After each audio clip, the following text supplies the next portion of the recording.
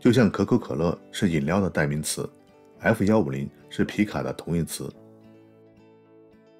参观完组装 F 幺五零的底特律福特荣格工厂后，达克对夫人说：“现在我知道，对我最重要的两样东西从哪里来了。一是孩子在哪个医院出生，二是我的 F 幺五零在哪里制造。”网上的攻略介绍，如果在底特律停留一天，最值得去的地方就是福特汽车博物馆，更准确的说是亨利·福特博物馆群。包括室内的福特创新博物馆、室外的绿野村、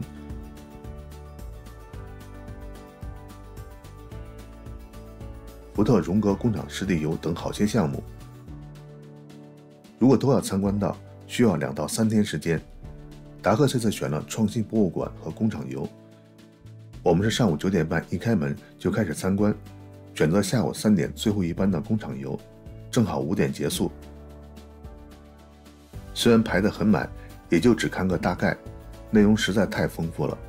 这期先聊聊福特的工厂游。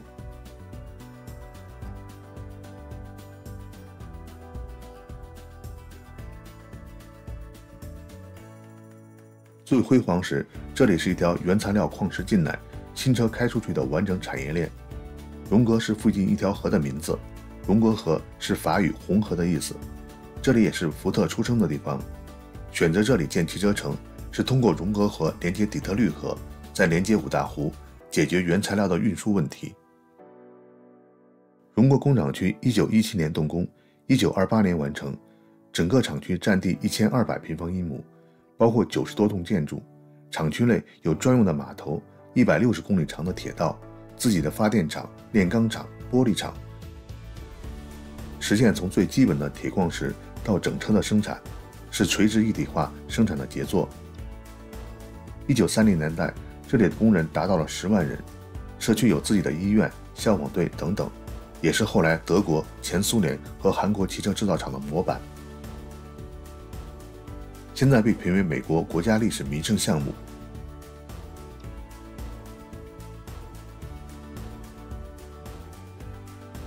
一九九七年后，经过改装翻新。成为最先进的汽车装配工厂，能同时生产九种车型。博物馆有专车接送工厂参观，距离大约十几分钟的车程。工厂游分成五部分，一些项目不能摄像，有关的图像资料是从网上找到的。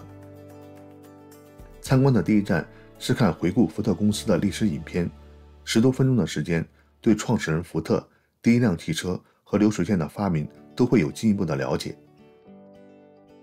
第二站相当酷，是 4D 影院，声光电结合，介绍 F 幺五零的生产。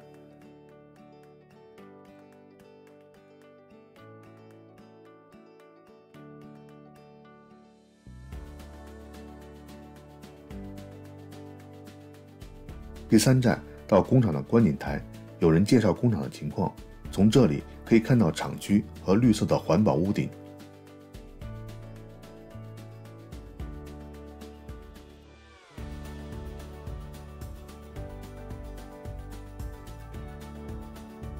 第四站是进入车间，游客沿着二楼设计的路线，可以看到下面车间的组装线。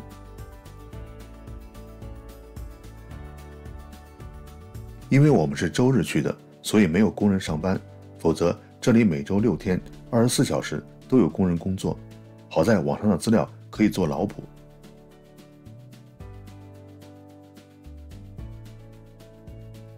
最后一站的大厅里。展示了福特公司经典的车型和拆解的 F 幺五零皮卡，整个参观需要两个多小时。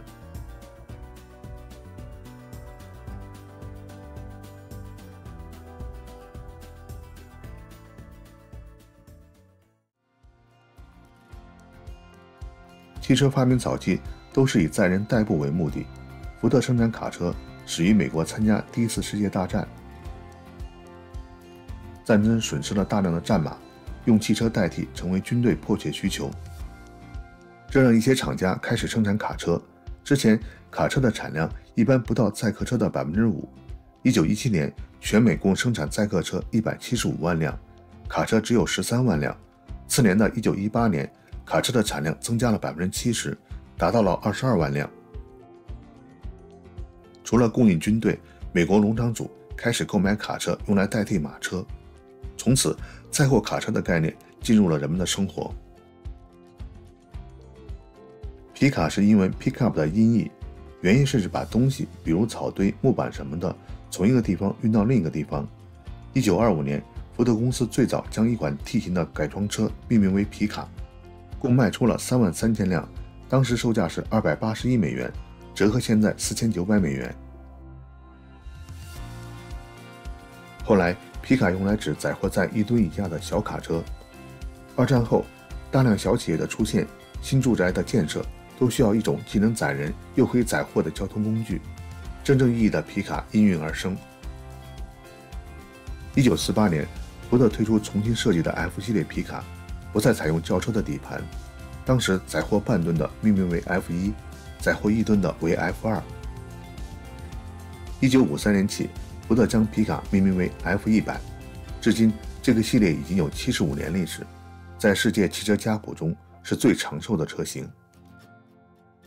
福特对 F 系列的目标是：干起活来是卡车，开起来是轿车。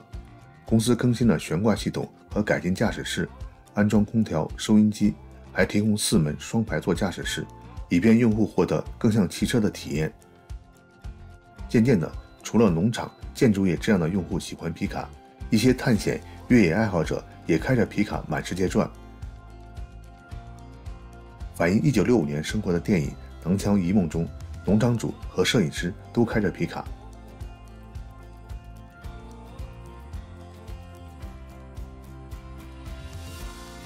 在当时的广告中，无论 F 系列驾驶室如何舒适，福特都更强调 F 系列在各种严酷环境。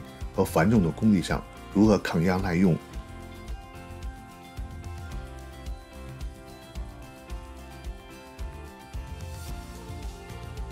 正式启用 F 幺五零命名是一九七五年，其实完全是一项规避排放标准的全新产品。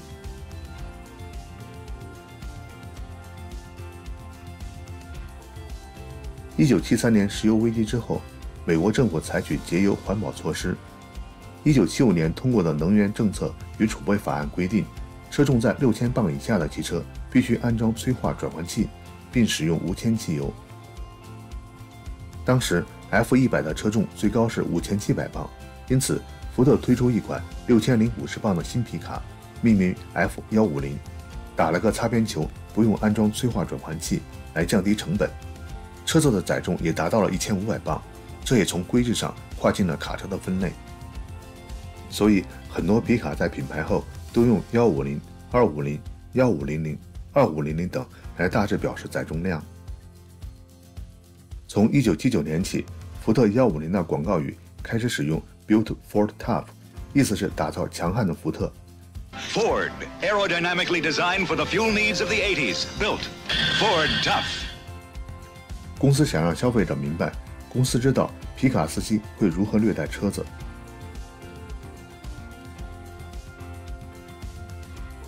一九四八年至今，F 系列已更新迭代了十四代。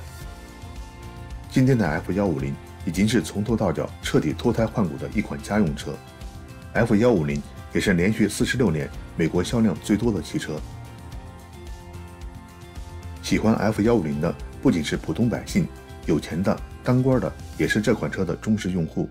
这是沃尔玛创始人山姆·沃尔顿一直开的1979年的 F 幺五零，如今。存放在阿肯色州的沃尔玛博物馆里，博物馆也是沃尔玛起家的第一家店。沃尔顿曾开着这辆车到各家店巡视，也开着去打猎、钓鱼。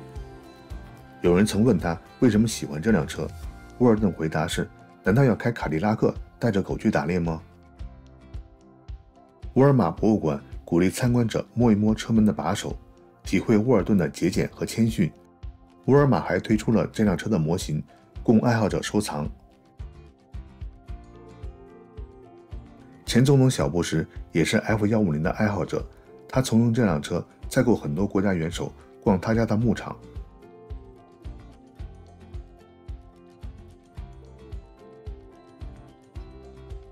现任的总统也驾着新款的电动 F 幺五零出现在新闻中。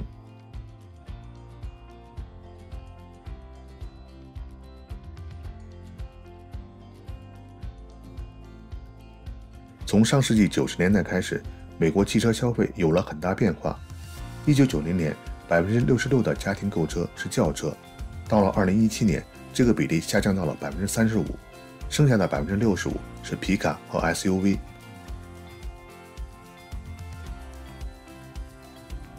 二零一七年，福特公司百分之四十三的产品是皮卡，占据美国皮卡市场百分之十六点六的份额。二零二二年，福特 F 系列。共销售了六十四万辆，相当于每四十九秒售出一台。如果把这些车排起来，将达到三千八百六十多公里，比洛杉矶到底特律的距离还长。F 幺五零的竞争者众多，道奇的公羊、丰田的坦途、雪佛兰的霸道，还有日产、本田的皮卡等等。二零一八年，以越野著称的吉普公司也在牧马人的基础上推出了角斗式车型，不到三年时间，已经在路上经常看到了。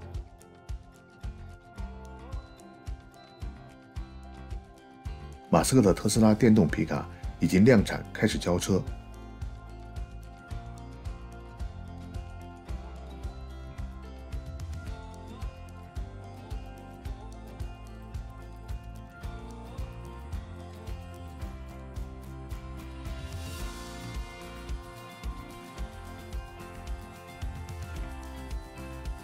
福特也推出了全电动的 F 幺五零闪电车型。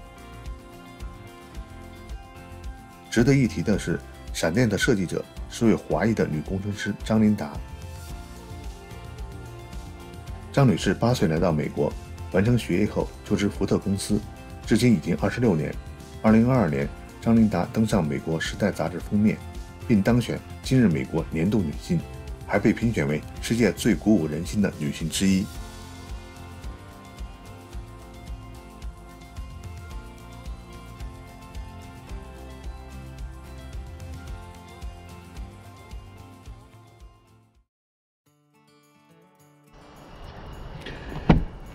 这个车的品牌里头，在 F 幺五零的所有的这个 VIN number 里头，它的第十一个字母是 F，F 就代表是在荣格工厂生产的。目前，福特 F 幺五零的组装厂有两处，一是在底特律的荣格工厂，另一处在密苏里州的堪萨斯城附近。荣格工厂在一九九七年的改建中。超过四公顷面积的厂房屋顶覆盖了一种低矮的植被，这种植物可以保留和净化雨水，调节建筑物内部的温度，节约能源，也是荣格工厂环保的骄傲措施。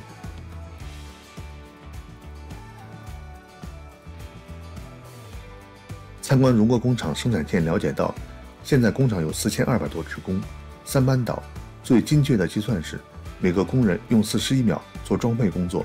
再有十秒等下一辆车传过来，所以五十一秒完成一辆车的组装。与工人一起工作的是机器人。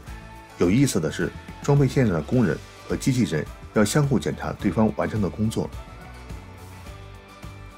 因为大量机器人的使用，组装线的女工也可以自如操作。目前，工人的每小时平均工资是二十九点五八美元，如果加上各种福利。则达到了每小时六十四美元，超过很多办公室白领的收入。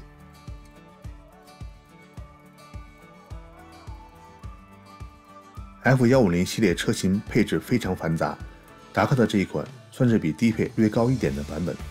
我看到一个最好的技术解释，是北美房车频道博主做的一个视频，呃，非常详细，有兴趣的朋友可以去看一看。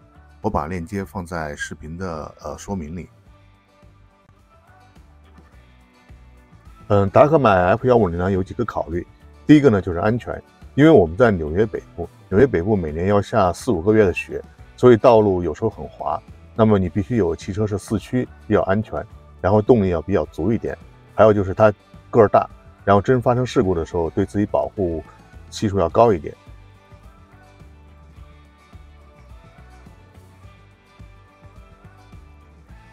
第二个考虑呢就是它可以拉货。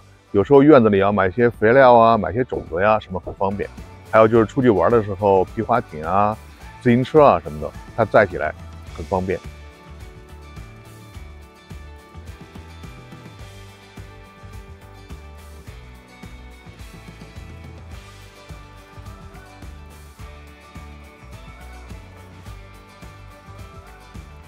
第三个考虑就是我这个拖挂，有了这个 F 幺五零呢，我就可以拖挂出去玩，那么比这个其他用 SUV 拖着要保险。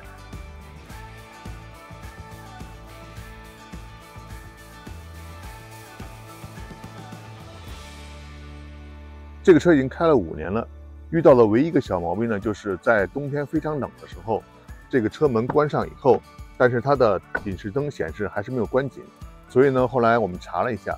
福特也召回这个毛小毛病，我们就送到 4S 店，很容易就解决了。其他毛病你还没有发现。当然，皮卡最关心的问题是油耗，呃，确实比一般的车要多一些。呃，我现在显示是每加仑能跑十五点八 mile，一般呢我会选择经济模式，所以呢相相对省油一些。呃，不过也确实比一般的车多。在福特博物馆作为纪念。3D 打印了一辆 F150 模型，回来和以前收集的几个模型放在一起，居然能串起福特皮卡的大半部历史。